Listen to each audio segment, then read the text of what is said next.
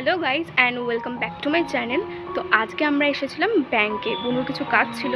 তো ব্যাংকের কাজ তো আমাদের হয়ে গেছে। এবার আমরা এসেছি মন্দিরে, রাধাকৃষ্ণের মন্দিরে। তো এটা হচ্ছে ব্যাংকের একদমই সামনে। আর এটা দেখতে পাচ্ছ, তো আমরা এখন মন্দিরের ভেতরে রয়েছি। তো চলো পুরোটা তোমাদের ঘুরে দেখাচ্ছি।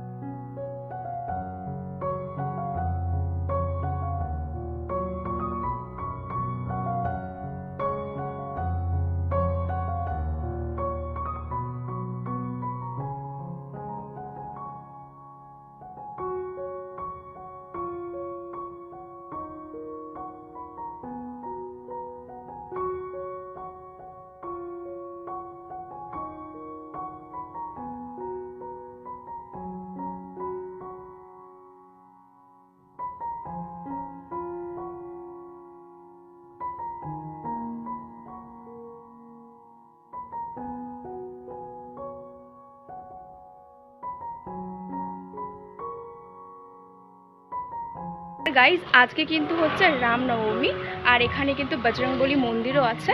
তো এই দেখো, তোমাদের আমি দেখাচ্ছি। আর এই যে দেখতে পাচ্ছ, এটা কিন্তু হচ্ছে বজরংবলী মন্দির। তোমাদের আমি জুম করে দেখাচ্ছি।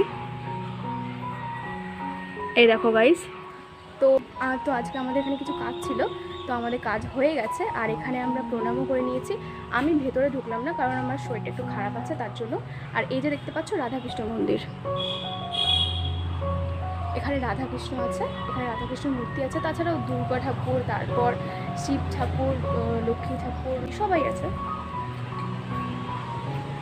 এটা গাইজ দেখতে পাচ্ছ, এটা হচ্ছে শিব ঠাকুর প্লাস এখানে দুর্গা ঠাকুর, পার্বতী, গণেশ সবাই রয়েছে, আর এই যে দেখতে পাচ্ছ, এটা হচ্ছে ছোট দুর্গা মূর্তি।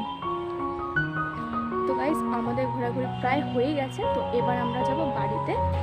গাইজ আমাদের মন্দিরে ঘোরা শেষ। ভীষণ ভালো মন্দিরটা। আমরা যদি প্রণাম করছে তো? প্রণাম করে। হয়ে গেছে ও প্রণাম করে। এখানে আমি রয়েছি গাইস আমরা কালকেও আবার আসব। কালকেও আমাদের এখানে একটু কাজ আছে। তো কালকেও আমরা হয়তো এখানে আসব। না মানে আসব